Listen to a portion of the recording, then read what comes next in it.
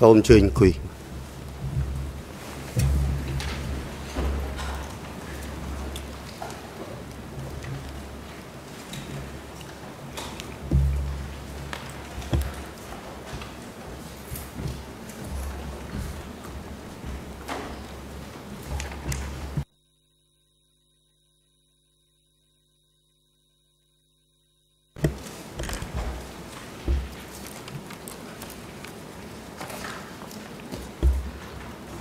នឹងតុលាការប្រកាសបន្តសកម្មភាពអឺលោកកឡាំជីតើមេធាវីនិងភិក្ខីមានវត្តមានគ្រប់ចំនួនហើយឬនៅសូមគោរពជំរាបប្រសាសន៍អាយដាមប្រធាន គឺភាគីមានវត្តមានគ្រប់ចំនួន លើកលែងតែមេធាវីការពារក្តីឲ្យលោកនួនជា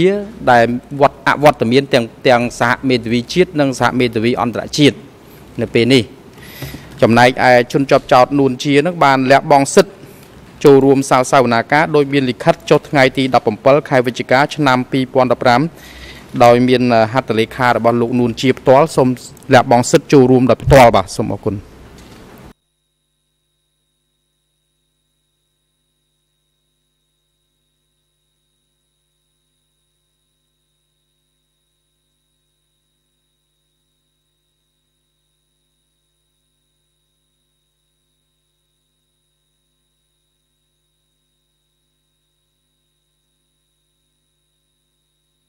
លោកកឡាំជីបញ្ជាក់ម្ដងទៀតឲ្យច្បាស់លាស់តកតទៅនឹងជនជាប់ចោត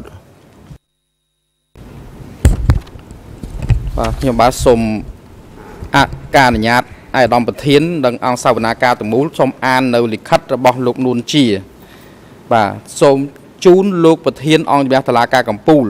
កម្មវត្ថុការលះបង់សិទ្ធិចូលរួមក្នុងសាវនាការលោកប្រធានជាទីគោរពដោយសារបញ្ហាសុខភាព មានមិនអំណោយផល បើកវងកញ្ចក់ឈឺក្បាលឈឺចង្កេះមិនអាចអង្គុយបាន និងមិនអាចចង់អារម្មណ៍បានយូរបិទវងកញ្ចក់និងដើម្បីចូលរួមក្នុងសាវនាការក្នុងថ្ងៃខាងមុខឲ្យមានប្រសិទ្ធភាពខ្ញុំនួនជាសូមលះបង់សិទ្ធិចូលរួមនិងមានវត្តមាននៅក្នុងសាវនាការថ្ងៃទី17ខែវិច្ឆិកាឆ្នាំ2015មេធាវីការពីរបស់ខ្ញុំបាទបានជម្រាបខ្ញុំអំពីផលប៉ះពាល់នៃការលះបង់នេះ ខ្ញុំសូមបញ្ជាក់បន្ថែមថា ការលះបង់សិទ្ធិនេះមិនអាចបកស្រាយថា ជាការលះបង់សិទ្ធិរបស់ខ្ញុំក្នុងការកាត់ក្តីដោយយុត្តិធម៌ឬក៏សិទ្ធិក្នុងការជំទាស់ផោះតាំងដែលបានបង្ហាញឬក៏ដាក់ជូនតឡាការនេះក្នុងគ្រប់ពេលនៃសាវនាការលើរូបខ្ញុំនោះទេសូមលោកប្រធានទទួលនៅការគោរពអំពីខ្ញុំដោយគោរពនួនជាបាទ អ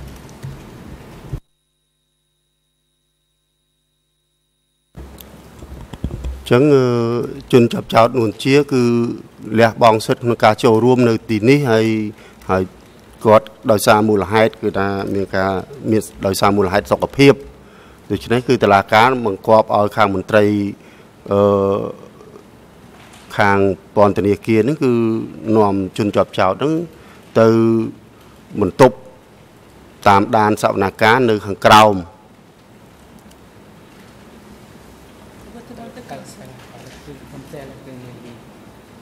ហើយតកតើនឹងបញ្ហា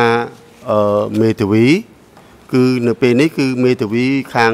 ការពារជនជាប់ចោតទាំងជាតិទាំងអន្តរជាតិហ្នឹងគឺมันបានចូលរួមទេទោះបីជាមានការសម្រេចរបស់អឺអង្គជំនុំជម្រះឲ្យមេធាវីជាតិនៅ ក្នុងចូលរួមនៅក្នុងសវនាការនេះក៏ដោយដូច្នេះគឺខាងអឺអង្គជំនុំជម្រះ ស្នើសុំឲ្យភាគីហ្នឹងគឺផ្ដល់យោបល់ដែរតាក់ទងទៅនឹងការមិនចូលរួមនេះហើយនឹងលទ្ធភាពនៃការបន្តសវនកម្មបាទសូមអញ្ជើញ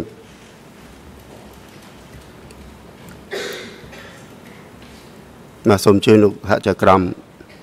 អសហប្រញ្ញាសូមអញ្ជើញ Thank you, Mr. President.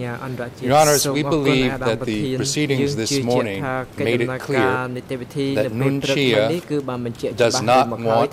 his counsel to present any arguments or actively participate in these hearings. Clearly, also, Your Honors ordered counsel to be present, and they defied that order. And I think uh, Your Honors can deal with counsel's what I believe is uh, misconduct or obstruction but we believe that the proceedings at this point go forward. It's not for Noon uh, to dictate the schedule of hearings or whether the case against him, the appeal against him, can proceed. He, of course, has a right not to make submissions at the hearing, just as during the trial, Noon had every right to testify and tried to explain his side of the story to the Cambodian people, he chose not to testify and undergo cross examination. He remains with the right to testify in case 2 2. But it's not for him here to decide, or excuse me, it is his right here to ឬក៏ decide គាត់ if he មិនអាច wants សម្រេច that នៅ his ទីនេះ lawyers បា will ន remain silent. ថាមេ We ធាវី think របស់ we គាត់ should ត្រូវនៅ proceed ស្ងៀ as មនឹងឡើយ scheduled. ដូច្នេះខ្ញុំគិត Q ថាអង្គជំនុំ Sampan's, ជម្រះ excuse តុ me, លាការ Mr. Q ខាង Sampan's team មេត្តាអនុញ្ញាត can បន្ត make their កិច្ចដំណើរ submissions ការ and នៃ the ទេវវិធីត co-prosecutors ទៅមុខ will respond ហើយ to ក្នុង all ពេល of the នេះគឺថាមេ allegations ធាវីខៀវសំផន regarding គាត់ the អាច fairness of the លើកឡើង trial នៅសា by ធារណៈ both ហើយ Q ព្រះអាជ្ញា Sampan នឹង and ឆ្លើយ Nun ត Chia. បដូច្នេះខ្ញុំគិតថាយើងអាចបន្តកិច្ចដំណើរការនីតិវិធីតាមការកំណត់របស់យើង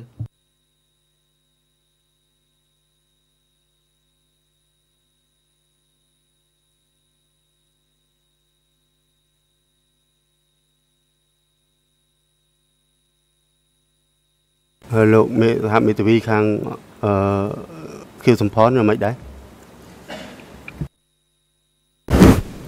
បាទសូមអរគុណលោកប្រធានអឺខាងក្រមមេធាវីលោកជាសំផនអត់មានយោបល់បន្ថែមទេសូមអរគុណ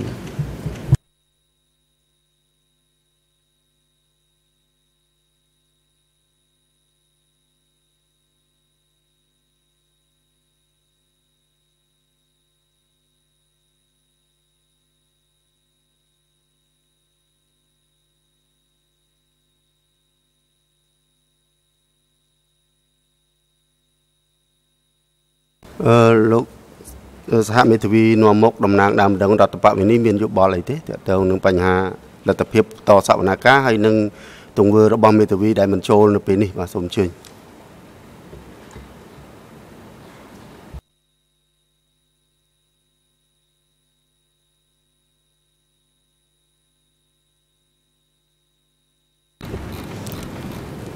Merci, Monsieur le Président. Ce qui nous paraît important, c'est la présence de l'accusé. Or, l'accusé n'est pas physiquement présent dans le prétoire, mais il est présent quand même, puisqu'il est présent en bas dans la, cellule. Donc, nous sommes d'avis que le procès peut continuer en l'absence des avocats de Nunchia dans la mesure où celui-ci est présent physiquement dans les locaux des CETC. មានវត្តមាននៅក្នុងបន្ទប់ខាងក្រោមហើយមេធាវីរបស់គាត់ក៏មានវត្តមាននៅក្នុងបរិវេណនៃតុលាការយើងនេះផងដែរ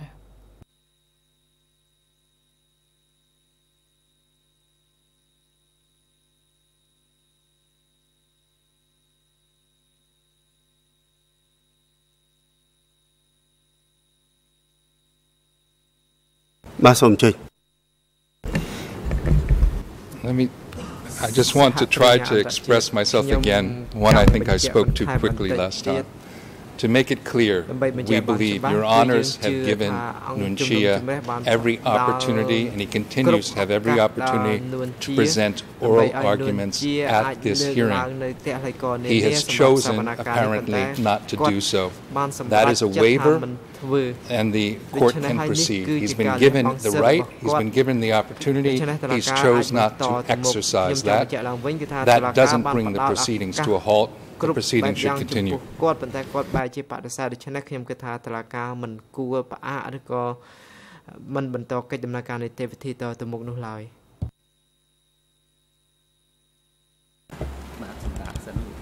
បាទដោយសារមានបញ្ហាដែលថាតកតៅនឹងមេធាវីការពីក្តីរបស់អឺនួនជាមិនបានចូលរួមនៅក្នុងនាពេលនេះគឺតឡាការអឺនឹងសម្រាប់អឺបន្តិចដើម្បី ចូលទៅពិភាក្សានៅខាងក្នុងដូច្នេះតឡាការប្រកាសថយទៅពិភាក្សានឹងសម្រាប់បាទ